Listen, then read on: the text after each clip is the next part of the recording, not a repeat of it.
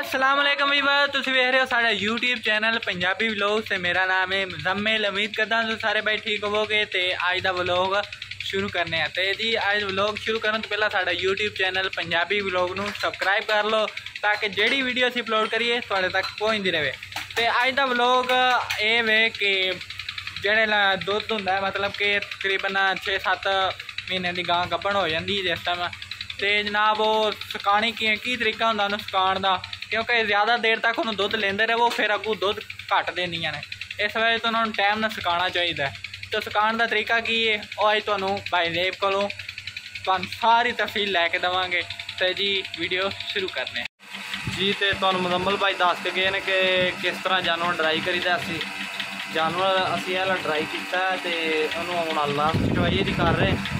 ਦੋ ਦਿਨ ਕਰ ਰਹੇ ਹਾਂ ਤੇ ਡਰਾਈ ਤਾਂ ਨਹੀਂ ਹੁੰਦੇ, ਲੇਕਿਨ ਇਹਨਾਂ ਨੂੰ ਡਰਾਈ ਕਰਨ ਵਾਸਤੇ ਫਿਰ ਇਹਨਾਂ ਨੂੰ ਟਿਊਬਾਂ ਚੜਾਈ ਦੀਆਂ ਖਾਸ ਕਿਸਮ ਦੀਆਂ ਟਿਊਬਾਂ ਹੁੰਦੀਆਂ ਨੇ, ਜਿਹੜੀਆਂ ICI ਕੰਪਨੀ ਦੀਆਂ ਅਸੀਂ ਤੇ ICI ਅੱਛੀ ਕੰਪਨੀ ਸਮਝ ਰਹੇ ਕਿ ਸਭ ਤੋਂ ਅੱਛੀ ICI ਕੰਪਨੀ ਹੈ, ਜਿਹੜਾ ਨਾ ਇਹ ਚੈੱਕ ਕਰੋ।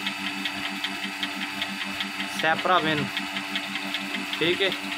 ਇਹ ਅੱਛੀ ਟਿਊਬ ਜਿਹੜੀ ਸੈਪਰਾਵਿਨ ਦੀ ਅੱਛੀ ਟਿਊਬ ਅਸੀਂ ਇਸਤੇਮਾਲ ਕਰ ਰਹੇ ਹਾਂ ਤੇ ਇੱਕ ਥਾਂ ਦੇ ਵਿੱਚ ਇੱਕ ਟਿਊਬ ਚੜਾਈ ਦੀ ਹੈ। ਤੇ ਬਾਕੀ ਟਿਊਬ ਕਿਸ ਤਰ੍ਹਾਂ ਚੜਾਈ ਦੀ ਤੇ ਕਿਸ ਕਿੰਨਾ ਅਰਥ ਇਹ ਕੰਮ ਕਰਦੀਆਂ 2 ਮਹੀਨੇ ਦੇ ਵਿੱਚ ਵਿੱਚ ਆਪਣਾ ਕੰਮ ਪਾ ਲੈਂਦੀਆਂ। ਤੇ ਇਹਨਾਂ ਦਾ ਫਾਇਦਾ ਕੀ ਹੈ? ਇਹਨਾਂ ਦਾ ਫਾਇਦਾ ਇਹ ਕਿ ਅਗਰ ਜਾਨਵਰ ਦੀ ਕੋਈ ਸਾਈਡ ਸ਼ੈਡ ਘੱਟ ਵੱਧ ਹੋਵੇ ਜਾਂ ਪਿਛਲੇ ਸਵੇ ਕੋਈ ਸਾੜੂ ਛਾੜੂ ਮਾਰਿਆ ਹੋਵੇ ਜਾਨਵਰ ਨੇ, ਤੇ ਉਹ ਜਿਹੜਾ ਨਾ ਉਹਦਾ ਥਾਣਾ ਕਲੀਅਰ ਹੋ ਜਾਂਦਾ ਜਾਂ ਕਿਸੇ ਕਿਸਮ ਦਾ ਕੋਈ ਥਾਣ ਦੇ ਅੰਦਰ ਇਨਫੈਕਸ਼ਨ ਹੋਇਆ ਹੋਵੇ ਜਾਂ ਤੁਸੀਂ ਛੱਡ ਰਹੇ ਹੋ, ਜਦੋਂ ਜ਼ਿਆਦਾ ਦੁੱਧ ਨਹੀਂ ਚੋ ਰਹੇ ਤੇ ਜ਼ਿਆਦਾ ਹੁੰਦਾ ਦੁੱਧ ਤਕਰੀਬਨ 7 8 10 15 12 ਕਿਲੋ ਦੁੱਧ ਹੋਈ ਜਾਂਦਾ। ਇੱਕ ਟਾਈਮ ਦਾ ਜਾਨਵਰ ਦਾ ਜਿਸ ਟਾਈਮ ਅਸੀਂ ਛੱਡਨੇ ਆ।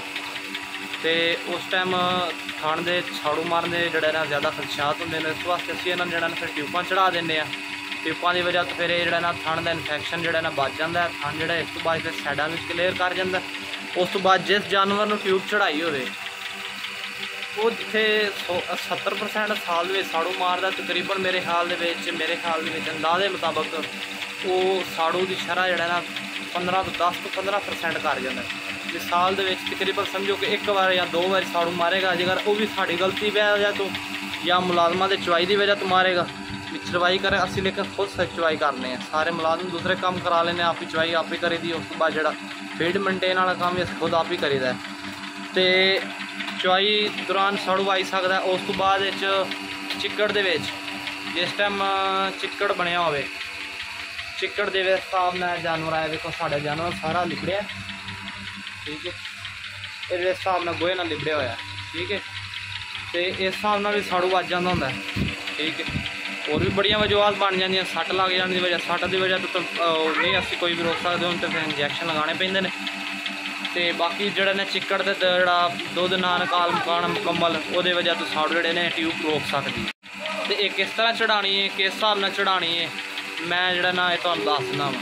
ਇਹ ਖਿਆਲ ਰੱਖਣਾ ਹੈ, ਜਿਸ ਟਾਈਮ ਤੁਸੀਂ ਗਾਂ ਡਰਾਈ ਕਰਨੀ ਹੈ, ਅਗਰ ਤੁਸੀਂ ਮਸ਼ੀਨ ਨਾਲ ਸਫ਼ਾਈ ਕਰ ਰਹੇ ਹੋ, ਇਹਦੀ ਚਵਾਈ ਕਰ ਰਹੇ ਹੋ ਨਾ ਆਖਰੀ ਆਖਰੀ ਚਵਾਈ, ਉਹਦੇ ਬਿਲਕੁਲ ਧਾਰਾਂ ਨਹੀਂ ਰਹਿਣ ਦੇਣੀਆਂ, ਦੁੱਧ ਦੀਆਂ ਬਿਲਕੁਲ ਵੀ ਹੱਥ ਦੇ ਨਾਲ ਬਾਅਦ 'ਚ ਸਫ਼ਾਈ ਕਰ ਲੈਣੀ, ਕਿਉਂਕਿ ਨਾ ਮਸ਼ੀਨ ਦੇ ਨਾਲ ਥੋੜੀਆਂ ਬਹੁਤੀਆਂ ਵਿੱਚ ਹਵਾਨੇ ਦੇ ਦੁੱਧ ਰਹਿ ਜਾਂਦਾ ਜਿਸ ਦੀ ਵਜ੍ਹਾ ਤੋਂ ਉਹ ਸਹੀ ਸਫ਼ਾਈ ਨਹੀਂ ਹੁੰਦੀ, ਖੁਸ਼ਕ ਨਹੀਂ ਹੁੰਦੀ ਗਾਂ। ਉਹਦਾ ਥਾਂ, ਜਿਹੜਾ ਵਾਨਾ ਹੈ, ਉਹਦਾ ਬਿਲਕੁਲ ਖੁਸ਼ਕ ਨਹੀਂ ਹੁੰਦਾ, ਇਸ ਵਜ੍ਹਾ ਤੋਂ ਨਾ ਹੱਥ ਨਾਲ ਥੋੜੀ ਸਫ਼ਾਈ ਕਰ ਲੈਣੀ। ਇਹ ਦੇਖੇ ਅਸੀਂ ਕਰ ਰਹੇ ਹਾਂ। ਇਹ ਕਲੀਨਰ ਨੇ ਜਿਹੜੇ ਨੇ ਇਹਨਾਂ ਦੇ ਵਿੱਚ ਟਿਸ਼ੂ ਨੇ। ਕਲੀਨਰ ਟਿਸ਼ੂ ਨੇ ਜਿਹੜੇ। ਤੇ ਇਹ ਜਿਹੜੇ ਨਾ ਥਾਣੇ ਨਾਲ ਨਾ ਥੱਲੋਂ ਸਾਫ਼ ਕਰਕੇ ਤੇ ਫਿਰ ਇਹਨਾਂ ਨੂੰ ਟਿਊਪਾਂ ਚੜਾਈ ਦੇ ਨੇ। ਅਗਰ ਕੋਈ ਵੀ ਥਾਣ ਦੇ ਮੂੰਹ ਦੇ ਅੱਗੇ ਕੋਈ ਵੀ ਜ਼ਰਾਤ ਹੋਵੇ ਜਿਹੜਾ ਨਾ ਥਾਣ ਦੇ ਅੱਗੇ ਅੰਦਰ ਨਾ ਜਾਵੇ। ਉਸ ਤੋਂ ਬਾਅਦ ਮੈਂ ਟਿਊ ਟਿਊਪਾਂ ਵਹਾਣਾ ਇਹਨਾਂ ਨੂੰ ਕਲੀਨ ਕਰ ਲਾਂ। ਪਹਿਲਾਂ ਇੱਕ ਵਾਰ ਫਿਰ ਟਿਊਪਾਂ ਵਹਾਣਾ ਕਿਸ ਹਿਸਾਬ ਨਾਲ ਚੜਾਈ ਦੀਆਂ।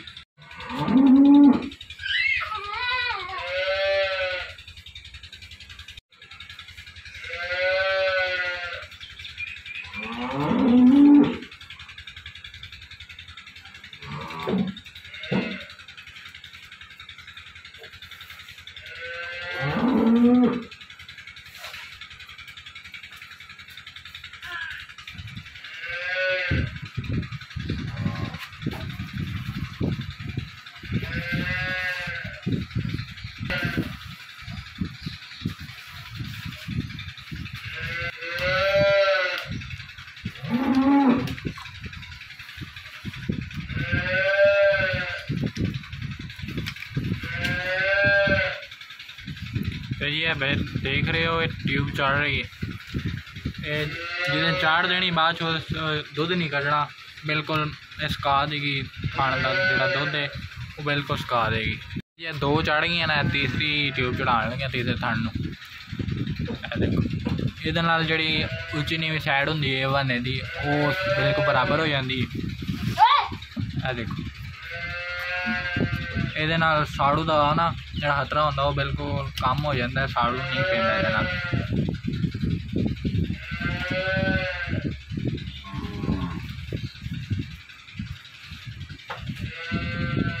ਤੇ ਜੀ ਇਹ ਦੇਖੋ ਆਖਰੀ ਥਾਣੇ ਆਖਰੀ ਥਾਣ ਨੂੰ ਇਹ ਚੜਾਉਣ ਲੱਗੇ ਹਾਂ ਬਾਈ ਤਿੰਨਾਂ ਨੂੰ ਚੜ ਗਈ ਟਿਊਬ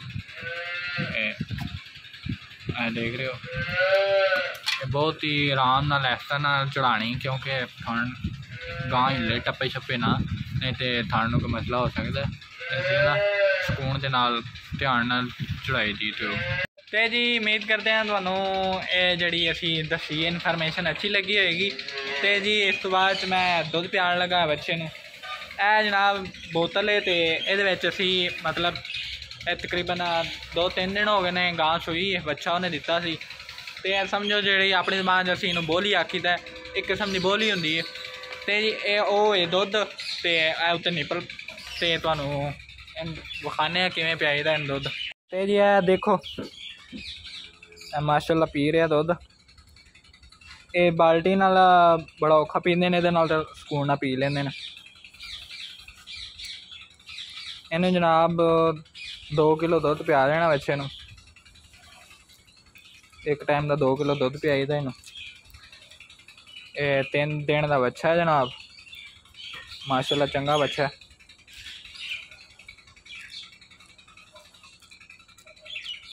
ਤੇ ਜੀ, ਅੱਛੀ ਲੱਗੀ ਤੁਹਾਨੂੰ ਵੀਡੀਓ ਉਮੀਦ ਕਰਦੇ ਹਾਂ ਤੇ ਅਗਲੀ ਵੀਡੀਓ ਮੇਰੀ ਆਏਗੀ ਕੱਲ ਅਪਲੋਡ ਹੋਏਗੀ ਤੇ ਜੀ ਕੱਲ ਸ਼ਾਮ 8 ਵਜੇ ਅਪਲੋਡ ਹੋਏਗੀ। ਅਗਲੀ ਵੀਡੀਓ ਮੇਰੀ ਇਹ ਹੋਣੀ ਹੈ ਕਿ ਸੈਲਜ ਦੀ ਕਿੰਨੀ ਬਵਾਈ ਕਿੰਨੇ ਕਿੱਲੇ ਤੇ ਕਿੰਨੀ, ਕਿੰਨਾ ਖਰਚਾ ਹੁੰਦਾ ਹੈ ਤੇ ਕਿੰਨਾ ਉਹਦੇ ਤੇ ਬੀਜ ਲੱਗਦਾ ਹੈ। ਮੁਕੰਮਲ ਡਿਟੇਲ ਨਾਲ ਇੱਕ ਵੀਡੀਓ ਮੈਂ ਕੱਲ ਅਪਲੋਡ ਕਰਾਂਗਾ। ਤੇ ਜੀ, ਅਗਲੀ ਵੀਡੀਓ ਲਾਜ਼ਮੀ ਵੇਖਿਓ ਜੇ, ਬਹੁਤ ਹੀ ਇੰਟਰਸਟਿੰਗ ਵੀਡੀਓ ਹੋਣ ਵਾਲੀ ਹੈ ਤੇ ਮੇਰਾ YouTube ਚੈਨਲ ਪੰਜਾਬੀ ਲੋਗ ਨੂੰ ਸਬਸਕ੍ਰਾਈਬ ਕਰ ਲਓ ਤਾਂ ਕਿ ਜਿਹੜੀ ਵੀਡੀਓ ਮੈਂ ਅਪਲੋਡ ਕਰਾਂ ਤੁਹਾਡੇ ਤੱਕ ਪਹੁੰਚਦੀ ਰਹੇ ਤੇ ਜੀ ਵੀਡੀਓ ਦਾ ਇੱਥੇ ਐਂਡ ਕਰਨੇ ਆ ਆਪਣੇ ਬਾਈ ਨੂੰ ਦੁਆਵਾਂ 'ਚ ਯਾਦ ਰੱਖਿਓ। ਅੱਲਾ ਹਾਫਿਜ਼।